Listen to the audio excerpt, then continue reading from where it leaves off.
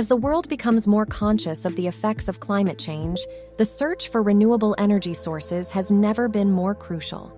In this video, we'll explore what green energy is, how it works, and its benefits.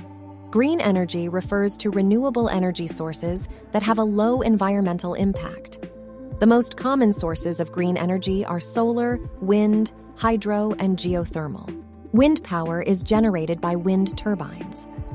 Wind turbines are placed in locations with high wind speeds, such as near the coast or on hilltops. They generate electricity by converting the kinetic energy of the wind into electrical energy. Hydroelectric power is generated by the movement of water. Hydroelectric power plants use dams to store water, which is then released to turn turbines that generate electricity. Geothermal energy is generated by the heat of the earth.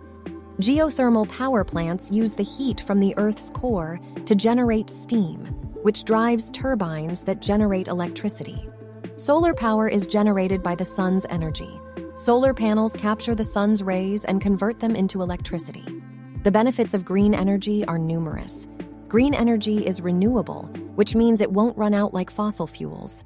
It's also clean, which means it doesn't release harmful pollutants into the environment. Green energy also helps to reduce our dependence on foreign oil and create jobs in the renewable energy sector. As technology advances, the cost of green energy is becoming more affordable, making it more accessible to everyone. Green energy is the future. It's a vital part of our efforts to combat climate change and ensure a sustainable future for generations to come. Thank you for watching.